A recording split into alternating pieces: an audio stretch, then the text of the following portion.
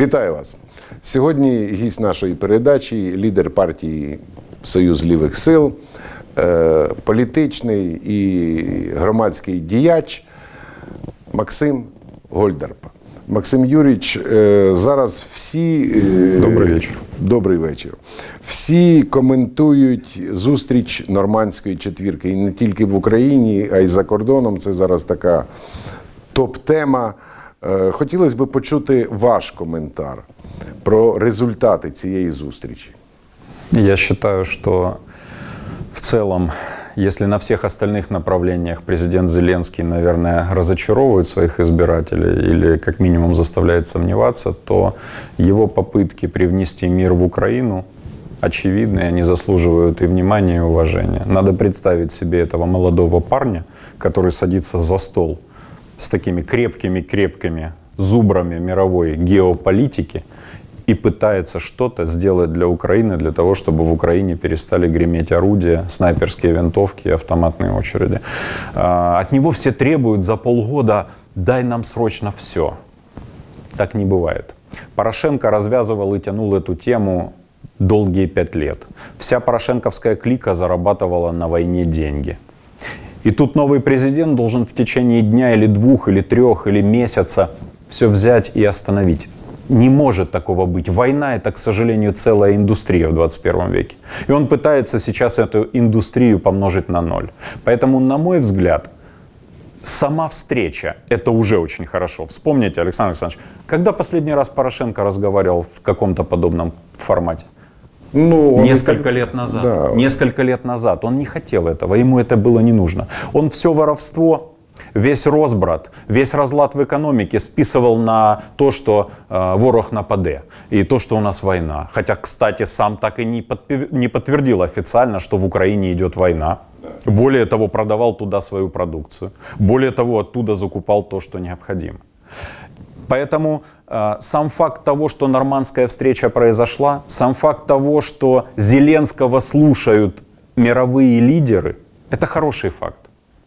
То, что они определились максимально развести вооружение, это хороший, причем в короткий период времени, это хороший факт.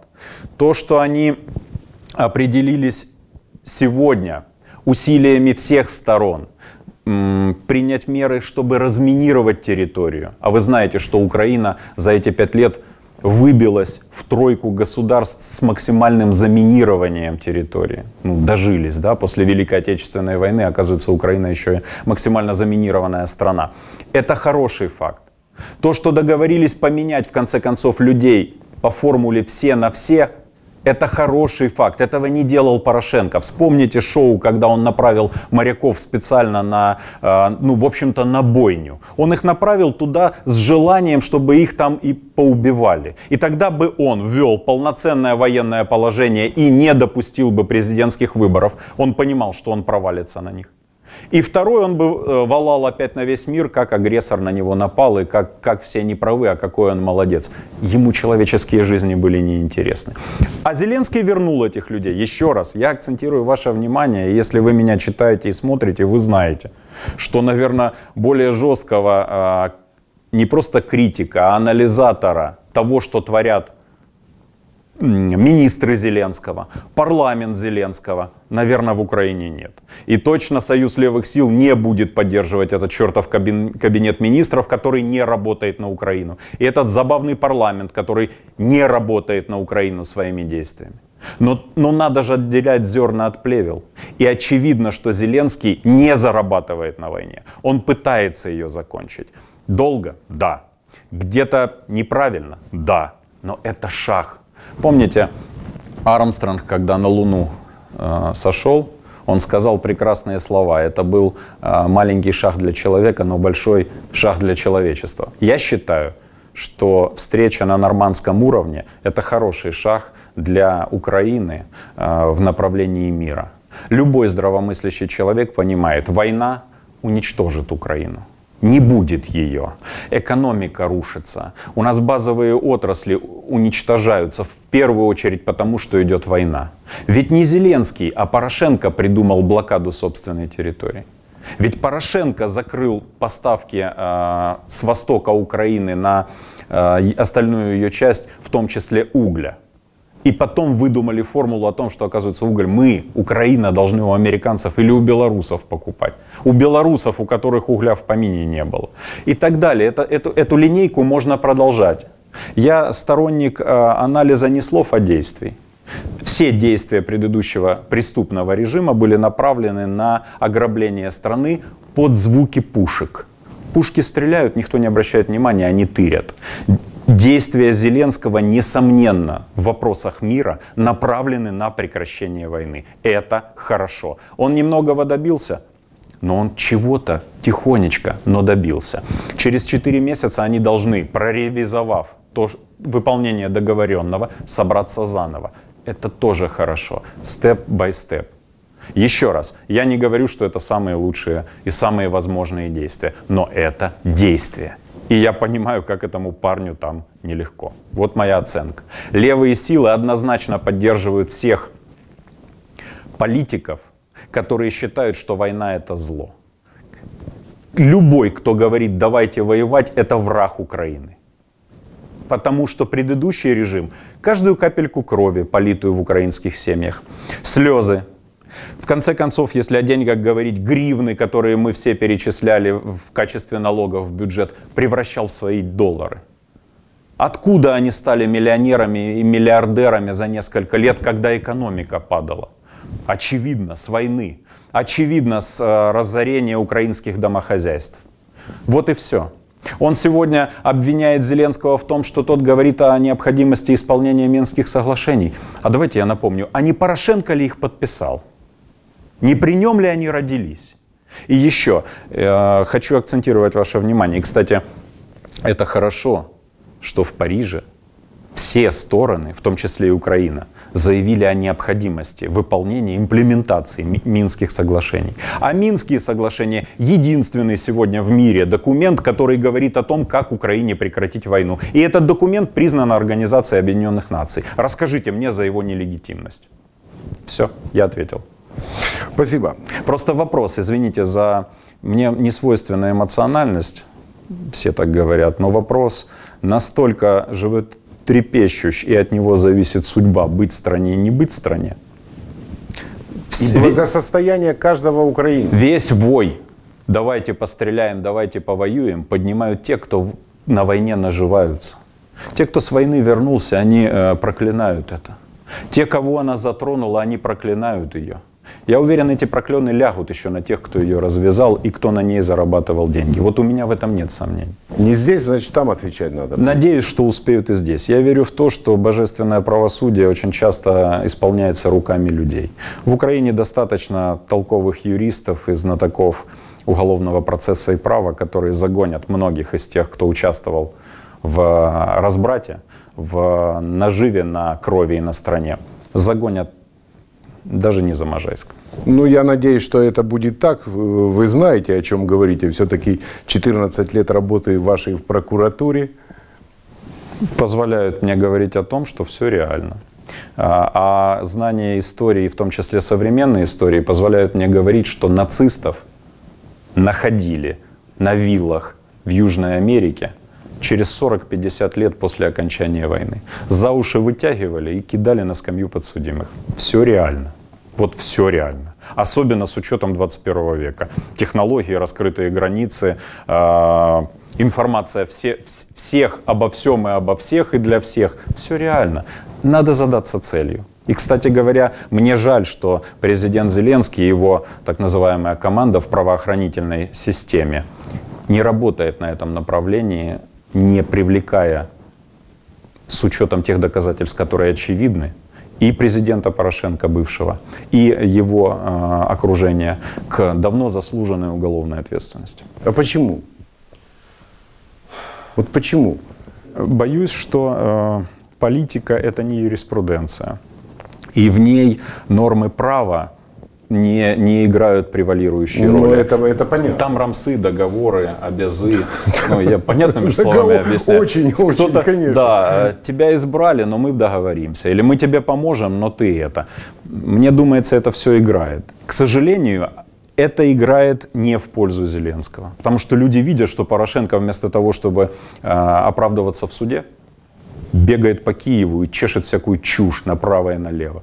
Хотя его, и, ему уже и не верит никто. Вы же смотрите, сколько он там людей собрал? 200, 300. И то устроили драку за то, что деньги не заплатили. Ну, ну блин, ну это ж, ну, ну, это уже, это уже он не пропьет. Это да. уже его э, крест, так сказать. Э, людей расстраивает то, что воры, разрушившие банковскую систему Украины, правоохранительную систему Украины, сейчас из Лондона шлют фотки, как они классно себя чувствуют и сидят на, там, на лестницах, на порожках, в дорогих кабаках там, и так далее. Людей это злит. Почему так? Ну задумайтесь, э, при Гонтаревой только у малого и среднего бизнеса в Украине – просто исчезло, то есть безвозвратно исчезло 100 миллиардов. Не тысяч, не миллионов, 100 миллиардов. Ну и таких примеров можно приводить тьму. Ереська и Яценюк подписали документы, благодаря которым Украина на протяжении 30 лет будет выплачивать в среднем комитету кредиторов, это с 2021 года, порядка 300-500 миллионов лишними деньгами в год, живыми деньгами, нашими с вами налогами, нашими. понимаете? А эти люди чувствуют себя чудесно. Одна в Пуэрто-Рико, да, доведя ее до дефолта, по-моему, эту страну. А второй сейчас пиарится на некоторых украинских каналах и рассказывает, як він вболіває за свою країну. К сожалению, да. Пока так. Поживемо, увидим. Повертаюсь до зустрічі в нормандському форматі. Безпосередньо зустріч тет-а-тет президента Зеленського, президента Росії Путіна, е, де піднімалось і обговорювалось питання можливості транзиту газу через Україну.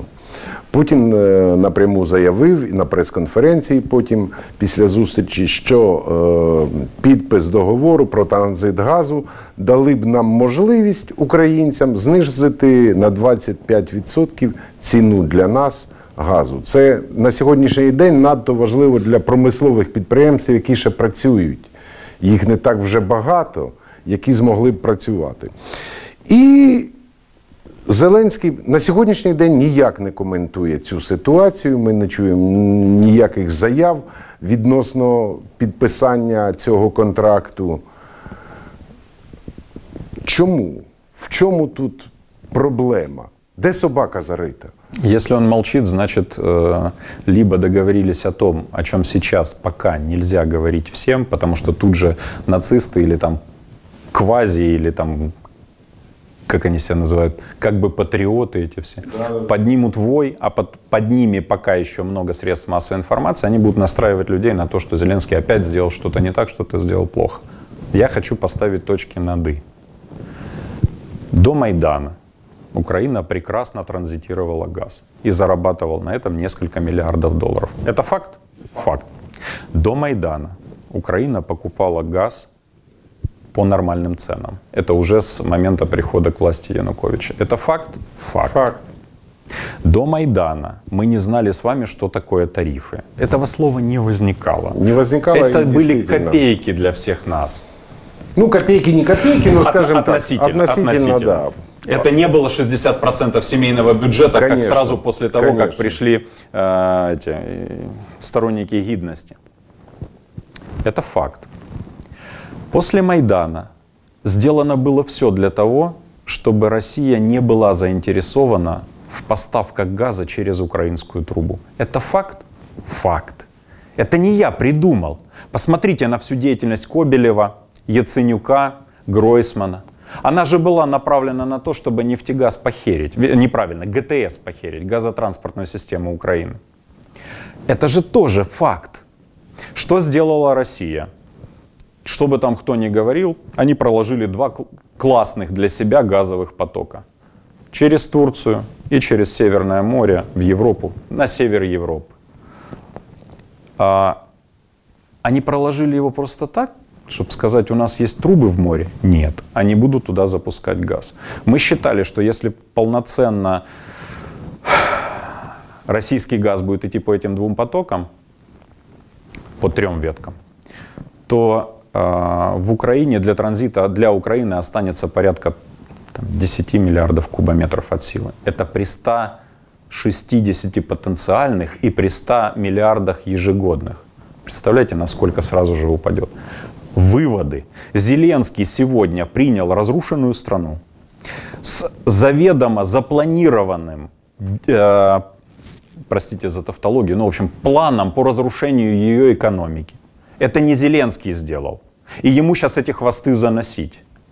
А, русские не примут уже эту трубу в том виде, в каком она была. Вот кто бы что ни говорил. У них уже построены другие трубы. Они их запустят, нравится это, не нравится это. Надо договариваться, надо определяться. А, то, что было сделано за эти пять лет, при Сталине это называлось вредительство. И за это давно бы расстреляли в течение одного дня. Есть факт, была ГТС, не стала ГТС. Ты был директором ее, ты до этого довел. Все, нечего доказывать. Нет больше никаких интересов. Был один интерес – уничтожить газотранспортную систему Украины. У них все прекрасно получилось. Есть виновники этого, есть очевидные преступники, причем это преступники ну, государственного масштаба.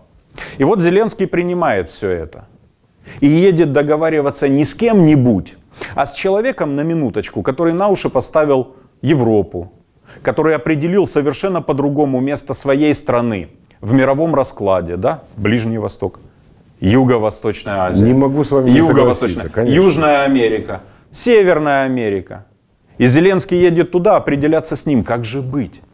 Я не знаю, до чего они договорились. Мы не друзья с Зеленским, я не могу ему задать эти вопросы.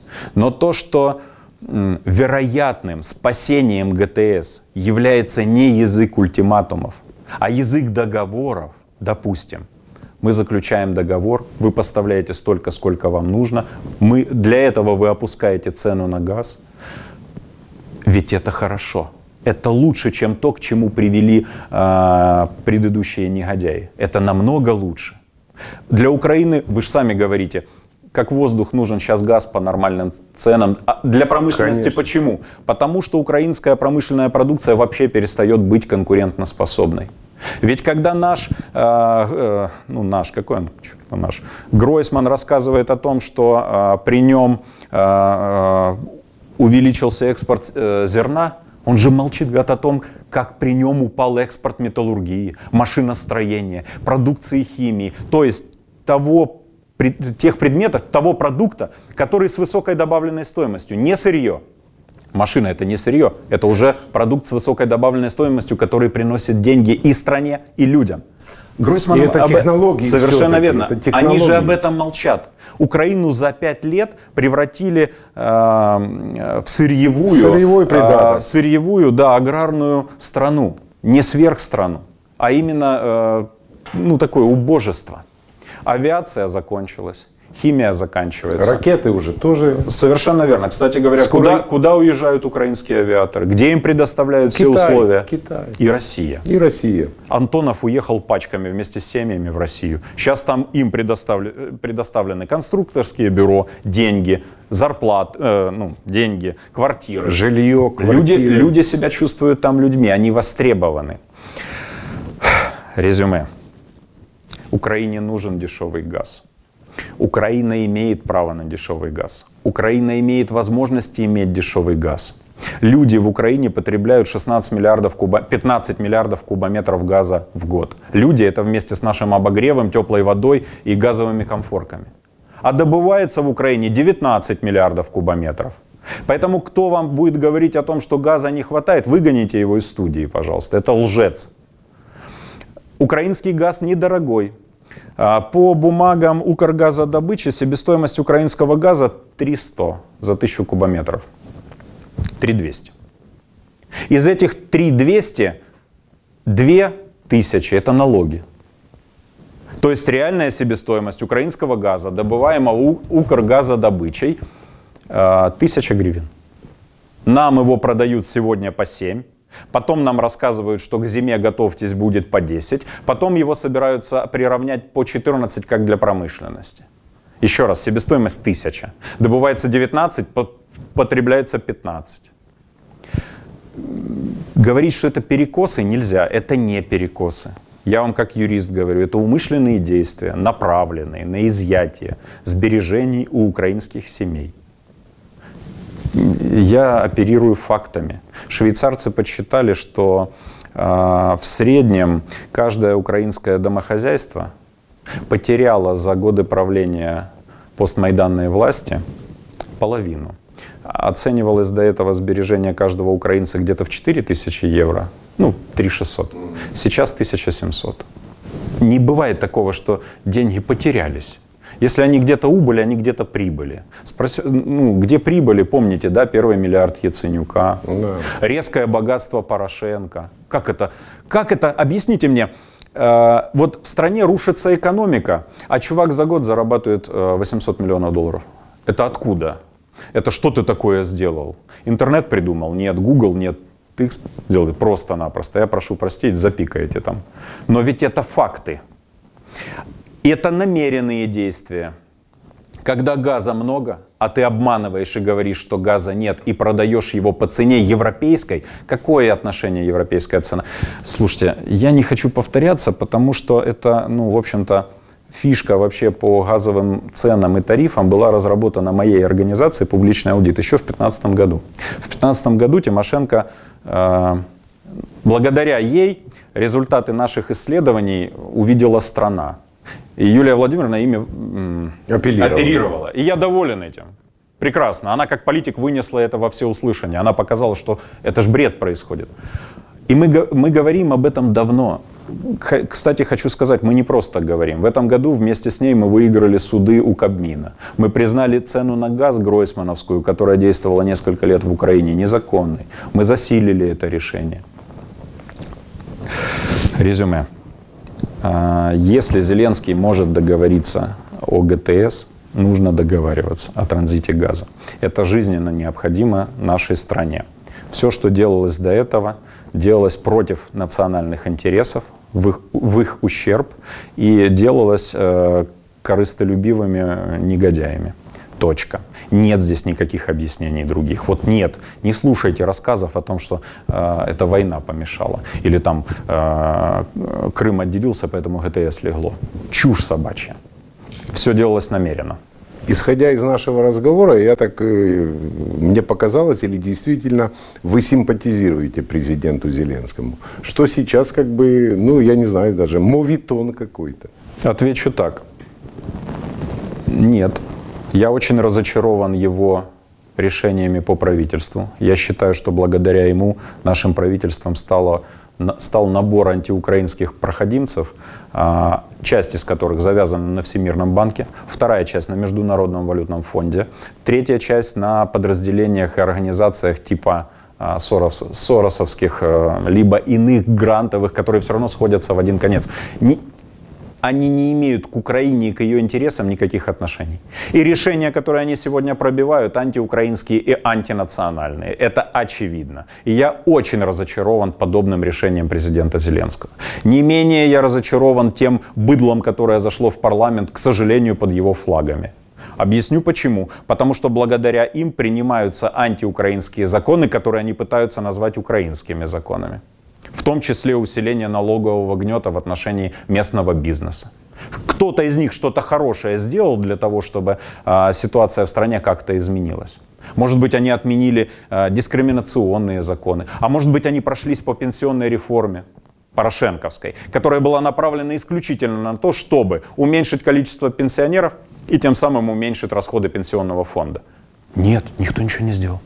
Зато обязательно надо землю украинскую продать. Это так срочно. Это так, так, так вот все торопятся. Я ему очень неблагодарен за это. Я очень разочарован его политикой в отношении украинской земли. Это неправильная политика. Это не вер... Ну вот в корне своем она неверная. Захотите, объясню по цифрам. Но я отвечаю на ваш вопрос. Зеленский в этом году сделал следующее ну или его явление, или появление, был выбит из кресла президента самый опасный для Украины человек. Человек, на котором висят кучи жизней загубленных, и на котором висит разграбленная и загубленная страна. Мои эфиры на телевизоре прекратились из-за того, что я говорил это еще когда он был президентом. Это раз. И два. Зеленский разбудил их. Вот мы сейчас с вами э, интервьюируемся, а в студии стоят молодые ребята, которые в этом году, или многие из них, пошли на выборы. А раньше они не ходили. А сейчас пошли. А это значит, что 19 год, условно, Зеленского, поднял на ноги молодежь, которая начала, ну, как минимум, думать. Это здорово. Я очень этим доволен. Вот вся моя симпатия к этому человеку. А, ну и то, что я вам в самом начале сказал насчет, насчет мира. У него получится. Может быть, он потом уйдет в отставку, я не знаю. У меня личное ощущение, что он для себя нарисовал именно мир. И все. Вот мне кажется, он, он не понял, куда он попал. Но будет мир, блин, я буду ему аплодировать. Уже он Хотя... войдет в историю. Совершенно верно. Хотя бы за это. Вот, вот мой ответ вам. Вот вся моя оценка его деятельности сегодня. Ви е, нещодавно очолили партію Союз лівих сил. Е, яку ви перед собою ставите програму мінімум і програму максимум на цій посаді? Якщо будуть дочасні президент, е, парламентські вибори, хотілося б на це сподіватись, ви будете приймати участь? Вы усложнили вопрос градации минимум и максимум. Я по имени, наверное, по жизни максималист. Я стараюсь максимально себе заказывать того, чего хочу. Вот я очень хочу, чтобы, первое, левые силы стали партией власти, чтобы мы формировали повестку дня, чтобы левая идеология стала идеологией государственной. Что такое левая идеология? Левая идеология — это жить вместе — нормальный социум, нормальное общество. Кому-то членам из членов общества плохо, общество с помощью надстройки под названием государство помогает этому человеку. Ну, допустим, старику, больному, сироте, собачке – собачке мы помогаем. Вот вы идете по улице, вы помогаете собачке, кормите ее, хотя можете этого не делать. Помогаете э, кому-то, кто не может в аптеке купить из-за этих всех яценюков и прочей пошести, которая здесь была, лекарства. Просто взяли, купили, дали, ну, там, ну, купили сами 100 гривен, развернулись, ушли. Вы же не для телека это делаете. Вы делаете это потому, что где-то у вас внутри э, вам хочется это сделать. Вы родились с этим. Левая идеология — это то, с чем родились. Это идеология гуманности, что ли. В хорошем смысле слова, без э, красного словца, без, без понтов. Нормального отношения. Это идеология, что государство создано для того, чтобы решить мои проблемы. Иначе зачем оно мне нужно? Скажите. Зачем мы платим налоги? Чтобы Свинарчук их тырил? Чтобы Порошенко зарабатывал на них? Чтобы э, я сюда ехал через всю Украину, э, чтобы я ехал по колдобинам. Для чего мне такая государственная машина? Для чего мне государственная машина, которая говорит, нет, скорая к вам не приедет, она не обязана к вам ехать? Для чего мне государственная машина, которая мне говорит, язык, на котором ты э, говоришь, он плохой язык. Ти повинен розмовляти лише однією мовою. А почему? А я могу говорить на трех языках. Почему я должен говорить на одном языке? Почему? Зачем мне нужна такая государственная машина? Примеры, которые я вам привел, это примеры правой идеологии. Даже более того, худшей идеологии. Это э, то, что э, недавнешний директор этой зеленой партии, слух народа Корниенко, да, он сказал, мы либертарианцы, но мы еще чуть-чуть хотим социализма, мы смешаем это. Ну, бред, конечно, это, знаете, э, да, смесь бульдога с носорогом. Ну, человек не думает, что говорит. Что такое либертарианство? Что такое вообще э, правая идеология? Человек человеку волк. Государство тебе ничего не должно. А ты слабый, твои дела. Ты сильный, молодец. Упал, по тебе прошли. И это, нор, это возводится в догматы, это становится нормой. И к чему эта норма привела, посмотрите на сегодняшнюю Украину. Сел нет, разрушенные хаты, падающие заборы. Людей мало. 2 миллиона пенсионеров минус за годы правления Порошенко. 10 миллионов нормальных умных рабочих украинцев катаются по всему миру, ищут там деньги, которые перечисляют сюда. сюда а наши долбанные статисты и министры экономики и финансов говорят, классно, у нас это 10% валового продукта. Дожились, мы гордимся тем, что мы экспортируем людей. Мы сами, не мы, точнее, государственная машина, государство Украина распродает свой, свою, она это называет рабочую силу, а я говорю, они, они торгуют гражданами. Распродает направо и налево и балдеет от этого. Вот это правая идеология. Это ненормальная идеология. Это нездоровая идеология. А левая идеология – это идеология государства для человека. Возможно такое создать? Возможно такое создать. В мире такое есть полно случаев. Съездите в Швецию, узнайте о Берлине, на сегодня один из самых удобных для жизни городов. А почему? А там давно левые управляют этим городом. Посмотрите на то, что э, происходит в Китае. Жесткая страна, жесткая но она недавно еще рис руками собирала. А сегодня это вторая экономика в мире, и Китай рассказывает американцам, как дышать правильно. Образно. Получается у них? Получается. Почему мы должны разум отвергать? Почему мы должны принимать на себя то, что э, народу здесь никогда не было свойственно? Ведь э, Ой, кто-то мне недавно сказал в интервью, ну вы рассказываете это как в христианстве. А вообще-то откуда первые э, коммунные идеи пришли? Социальные идеи. Хотите социалистические? Из христианства. Да. А что в этом плохого? Что плохого, что э, люди хотят жить вместе и не фигачить друг в друга из пушек и, и пулеметов, а наоборот помогать друг другу, работать вместе, зарабатывать, детей воспитывать. Вы посмотрите, э, что творят либертарианцы сегодня? Они говорят на примере школ, на примере вот их воспитания. Они говорят, не обязательно является в школе химия, биология, алгебра, геометрия, точные науки. Они не обязательно, не, не нужно. А вы раньше нигде это не слышали? Был такой наместник оккупированных восточных территорий при фашизме. Назывался он Розенберг. По-моему, эту мразь повесили. Он говорил о том, цитируя Гитлера, что для оставшихся в живых украинцев нужно знать чтение, они должны уметь читать и считать, писать не обязательно. А сегодня не это происходит. Когда министр образования рассказывает, что у нас много учителей и много вузов, не это происходит.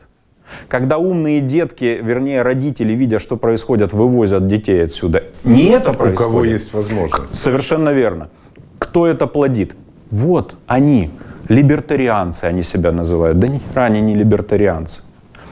Э, не хочу умных терминов. Раньше было понятие э, компрадоры.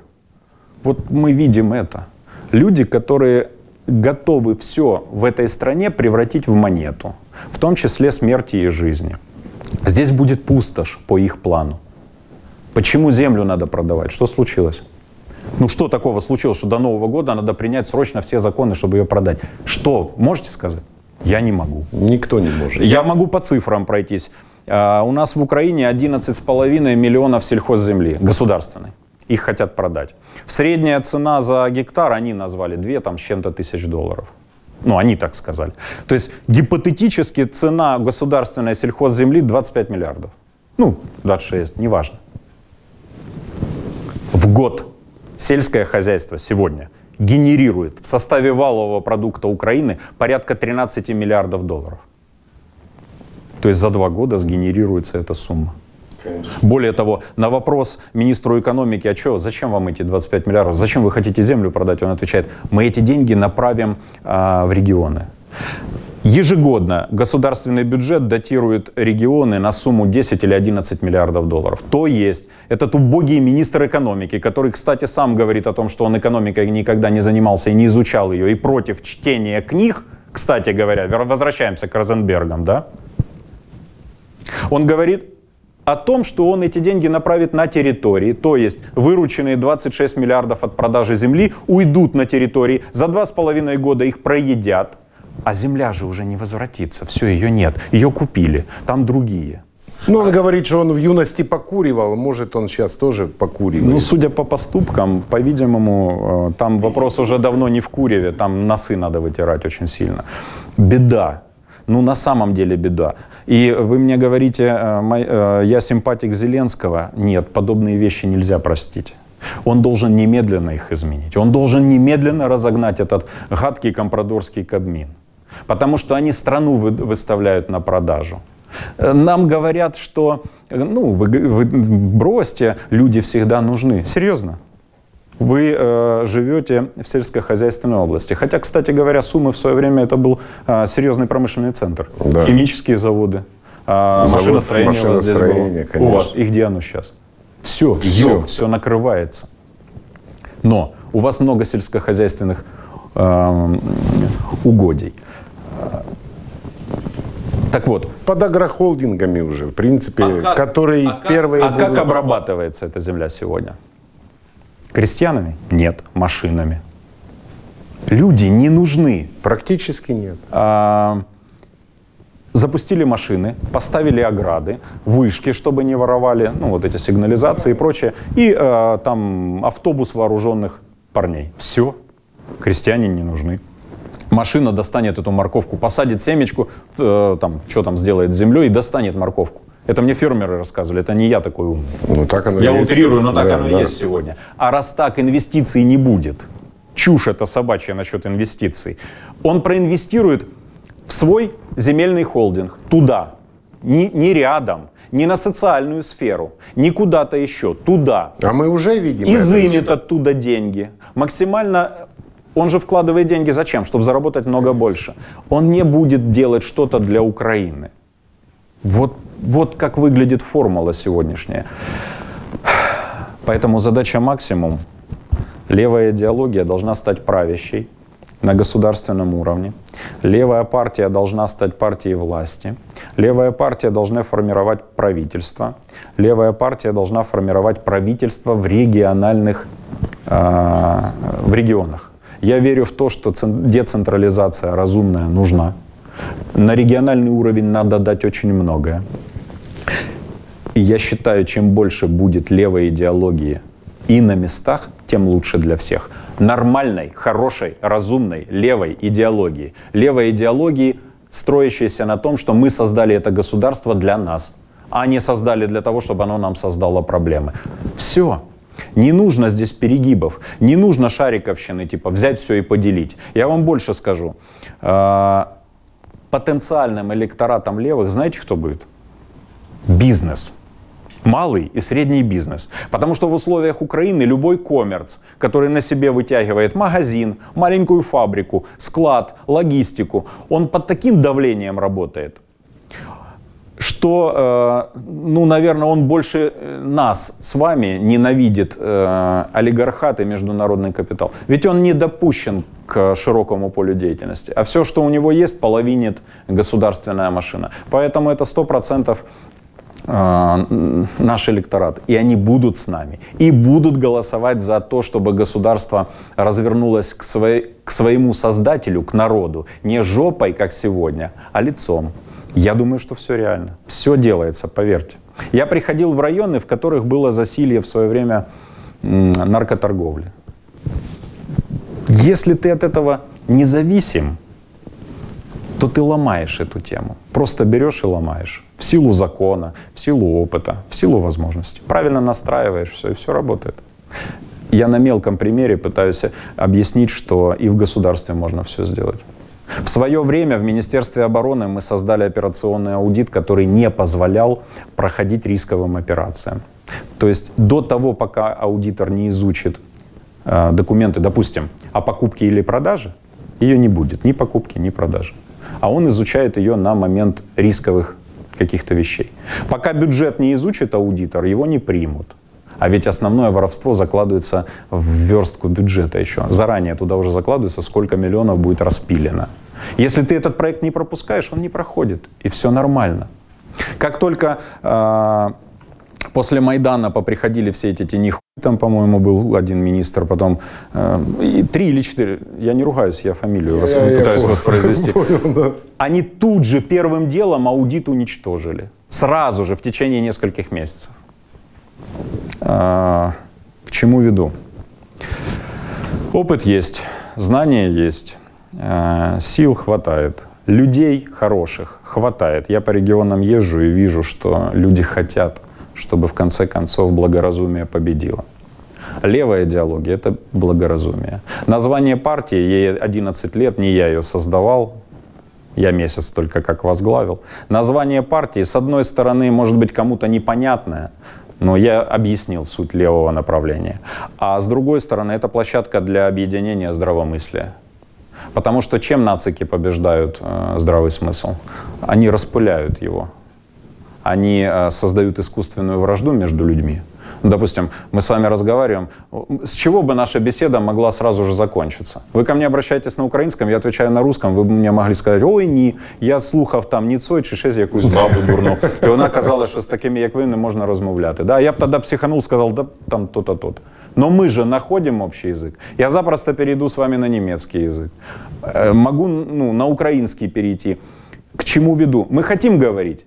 Конечно. Мы разговариваем. Когда хотят нас Як і в житті, в принципі. так і є. В своїх ефірах я завжди переходив на українську мову, коли до мене звертались українською. Я не вважав, що це якась проблема. Я вважаю, що е, в Україні, в якій кожна друга людина розмовляє російською, неможливо роз- казати, що це мова нацменшис- м- нацменшин. Неможливо закривати російські школи. Це аномалія. Неможливо забороняти вивчати чи тим більш розмовляти російською. Тим більш, що е, так случилось. Русский язык – это язык мирового э, уровня. Ну, я не буду ни с, ки- ни с каким другим сравнивать. Но это так. И в ООН это так, и в аэропортах это так. Ну вот так. На жаль, проблема не в мові. В людях, совершенно верно. Причем э, их не так много. Их- Абсолютно. Их, до сотни. До сотни проходимцев и негодяев, которые их задача это агентура влияния в Украине. И, кстати, что будут делать левые, мы запретим под страхом тюремного заключения и конфискации всего, что они сюда назаводят, работу любого, любой агентуры влияния. Любой, от любого государства. Они нам не нужны. Мы сами здесь в Украине разберемся, как нам жить. Нам не надо рассказывать ни с э, одним акцентом, ни с другим, а, как нам здесь устраивать себе жизнь. Захотим, спросим. Захотят нам дать советы, мы послушаем эти советы. Но рассказывать нам, как жить, где мы хорошие, а где плохие, какой первого сорта, а какой второй, нельзя этого допускать. Мы уже это допустили, и это закончилось войной. Вот так я думаю. И, конечно же, Маркс в свое время был прав, когда сказал, что первичная экономика. Наладится экономика, будет здесь чем заниматься людям. Сейчас с войны возвращаются те, кто учился несколько лет хорошо стрелять. Куда им идти? В Сумах что? Заводы закрылись. Колхозы разрушены. Фермеры не возьмут на работу, они им не нужны. Ну, только если одного-двух в качестве охранников. Остальным куда? Только в банды. Либо э, в сумасшествие. Или Да? Польща, Чехія. Кто-то, или Польша, Чехия. А кто там примет после того, как человек скажет, что он был в АТО? Давайте уже так говорить. Об этом же молчат официальные телевизоры. А Западная Европа уже стала м, ставить стопы на передвижение этих людей. Это факты. У государства не дает этим людям возможности социализироваться. И они усугубляют криминогенную обстановку. Как только экономика заработает, а у нее потенциала хватает, эти люди вольются в экономические процессы. Они будут что-то создавать, созидать, продавать, покупать. Я не знаю, на высоком уровне, на низком, неважно, но они, им будет чем заниматься. Резюме. а, У нас специально в Украине сегодня экономика уничтожается для того, чтобы как можно быстрее государство распоз- расползлось. Мы не должны себе позволять этого. Дякую вам. Сьогодні гостем нашої студії був лідер політичної партії Союз лівих сил Максим Гольдарб.